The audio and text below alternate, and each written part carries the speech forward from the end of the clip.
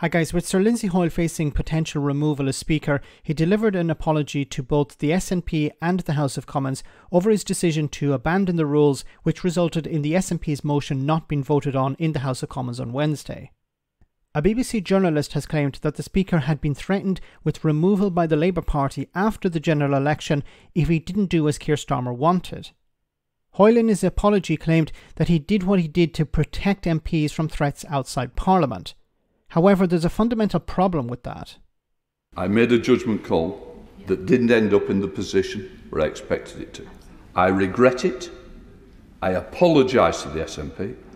Just, just bear with me for I apologise and I apologise to the House. I made a mistake.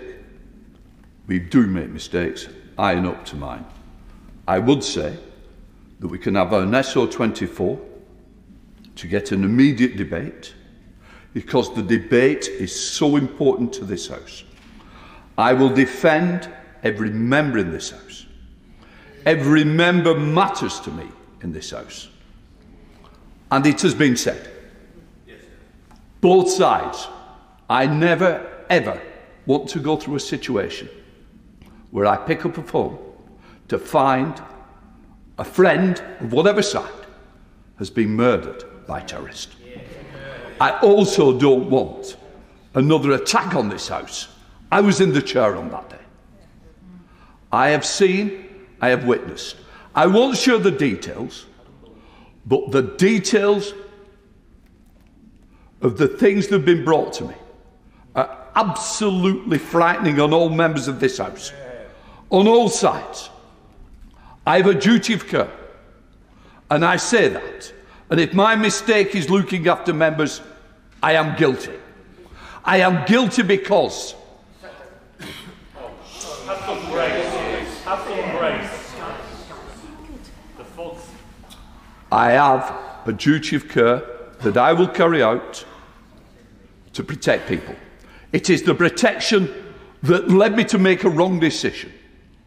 But what I do not apologise is the risk that's being put on all members at the moment.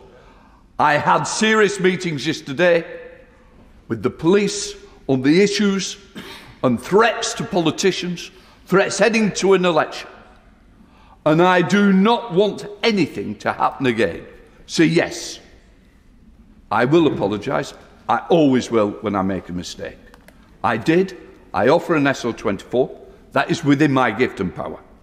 But I will also say I will do whatever it is to protect anybody in this chamber or anybody who works in this house. That is my duty of care. Okay. The problem with this is that if you break the rules in a sense because of a threat, then you're just going to encourage more people to issue more threats. Because they see that well, I'm not actually standing up to these threats, I'm actually bending to these threats. Now, I don't know whether there was a, an actual threat or not. This is what Sir Lindsay Hoyle is saying. Um, the BBC journalist was saying that it, was, it wasn't about threats, it was about protecting the Labour Party, it seems. But either way, the Speaker is supposed to do his job. He's, now, he has said that he was wrong and he's going to try and fix that. But the damage has been done. I think what should have happened when it comes to the Labour Party is Keir Starmer, if he was concerned about a rebellion, he should have allowed a free vote on the SNP amendment. Uh, sorry, motion. He should have allowed a free vote so that he wouldn't be facing a rebellion. His whatever MPs wanted to vote one way would vote one way, and whatever MPs wanted to vote a different way could have voted the different way.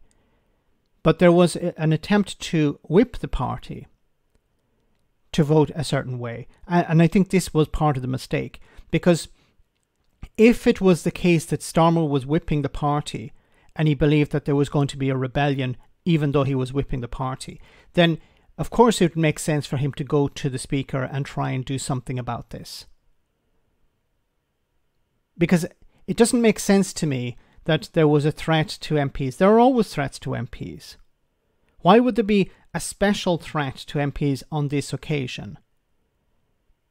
It, it why wasn't the threat highlighted? Why was it brought to the speaker? Why was it a case of the speaker breaking the rules because of a threat?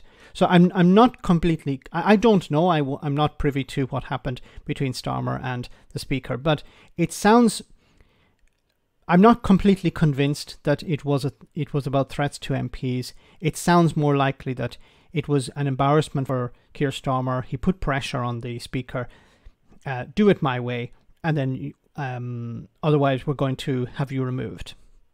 Now Starmer has come out and said that was not the case. He didn't put any pressure.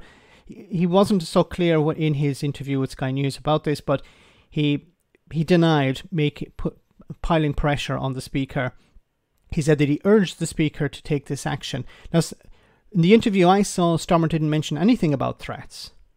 It was about the uh, the policy itself. It was about Gaza, not so much about threats to MPs. Which begs the question: Why didn't Starmer say, "Look, we're concerned about the uh, the threat to MPs. This is why we asked the Speaker to uh, to take the action that he did." So Starmer hasn't come out about this.